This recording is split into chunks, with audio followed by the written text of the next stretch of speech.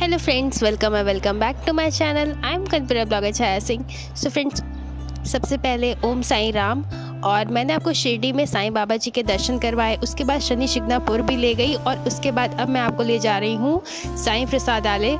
इसके बारे में मैं फुल इन्फॉर्मेशन दूँगी आगे आपको कि कैसा है और अंदर भी दिखा रही हूँ और बाबा का बहुत ही अच्छा ये है प्रसाद प्रसादालय। आप देख ही रहे हैं। कितना बड़ा है और काफ़ी लोग आते हैं यहाँ पे भोजन करने के लिए। और काफ़ी मतलब मैं इवनिंग के टाइम में गई थी तो बहुत ही सुंदर व्यू था, बहुत ही ब्यूटीफुल व्यू था वहाँ का। बहुत अच्छा लगा। और मैं अपनी फैमिली के साथ गई थी, श्री साईं प्रसादालय, आप देख रहे हैं, बोर्ड पे लिखा हुआ है, बाबा जी की तस्वीर लगी हुई है। और बहुत ही अच्छा डेकोरेशन था और सामने साइड में आपको बाबा का स्टैचू भी मिलेगा। जिसमें बाबा बाबा भक्तों के लिए खुद ही भोजन बना रहे हैं। क्योंकि जब बाबा अपने हाथों से ही भोजन करवाते थे अपने भक्तों को जो बाबा के पास रहते थे और जो आते थे तो जो बाबा को भिक्षा में मिलता था वही बाबा बा, बनाकर अपने भक्तों को खिलाते थे। तो मैं भी चली आई अपने बाबा जी के पास भोजन करने। तो मैं आपको पूरा दिखाती हूँ और इसके बारे में बताती हूँ। तो चलिए फिर। देखते रहिएगा लाइक करिएगा सब्सक्राइब करिएगा शेयर करिएगा। ऐसी वीडियो लेकर आती रहूँगी। साइड में आप देख रहे हो कितना मतलब अच्छा है और सीधे जाके आपको लेफ़्ट साइड पे आप ये मिल जाएगा। सामने एलसीडी लगी हुई है। हेलो फ्रेंड्स और हम पहुँच चुके हैं प्रसादालय। यहाँ से हम भोजन करेंगे, यहाँ से आपको टिकट मिल जाएगी। दिखा देती हूँ, पीछे लाइन लगानी पड़ती है। और फिर हम लोग प्रसाद ग्रहण करेंगे यहाँ से टिकट मिल जाएगी फ्री में कहीं जाने की ज़रूरत नहीं है सीधे यहीं आइए और प्रसाद खाइए फ्री में।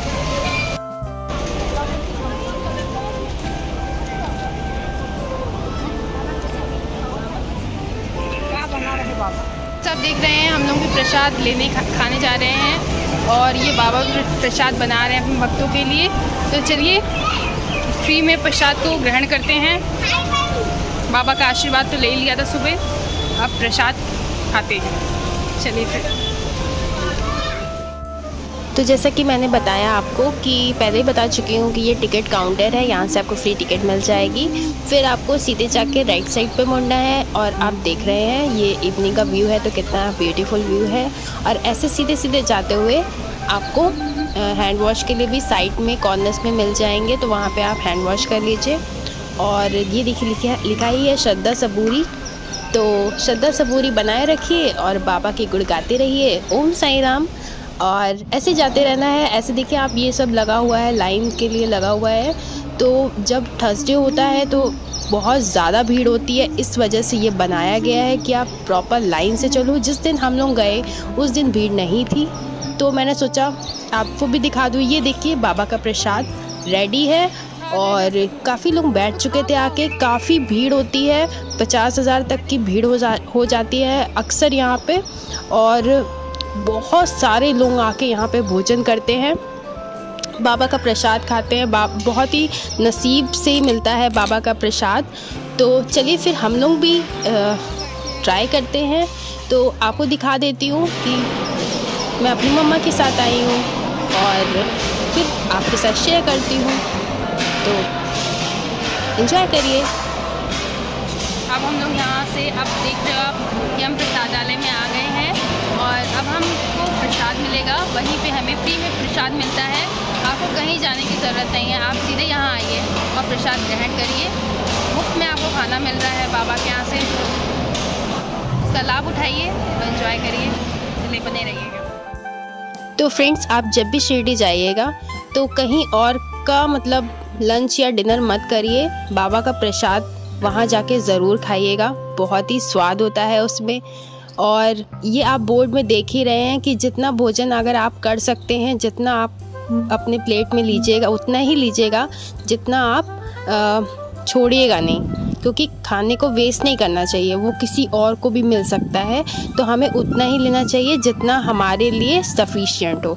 तो फ्रेंड्स आप देख ही रहे हैं कि सब लोग सेवा कर रहे हैं और खाना दे रहे हैं। अब आप सोच रहे होंगे कि इतनी सारी भीड़ है, पचास हज़ार तक लोग हैं और इतना खाना कहाँ से आता है? तो मैं आपको एक बात क्लियर करना चाहती हूँ।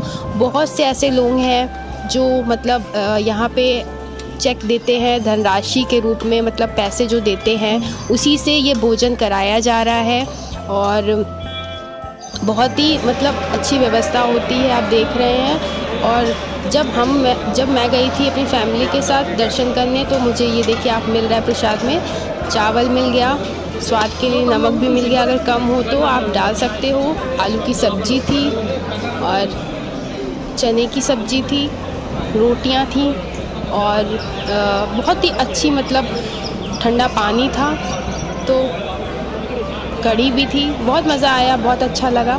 बाबा का प्रसाद मिला खाने को। मैं तो जब तक वहाँ थी, मैंने दो दो दिन तक हम लोग ने स्टे करा था। तो हम, मैंने वहीं पे ही भोजन करा। बाबा का बहुत ही अच्छा था। आप भी जाइएगा तो वहीं, वहाँ ज़रूर जाइएगा। और ऐसे ही बने रहिएगा मेरे चैनल पे। लाइक करिएगा सब्सक्राइब करिएगा शेयर करिएगा। और खूब इन्जॉय करेगा। फिर वहाँ से निकल के हम लोग मार्केट भी गए शॉपिंग करी थोड़ी। फिर हम लोग होटल आ गए अपने, जहाँ हम लोग ने स्टे किया था। तो ये सारे काफ़ी टॉयज़ लगे हुए थे। हम लोग ने पर्स लिए टॉयज़ लिए, बहुत प्यारे प्यारे बैग लगे हुए थे। बहुत ही अच्छी मतलब मार्केट थी। तो बहुत एक्सपेंसिव मार्केट भी नहीं थी। आप जाके शॉपिंग कर सकते हैं। तो फ्रेंड्स मिलते हैं नेक्स्ट ब्लॉग पे। Bye take care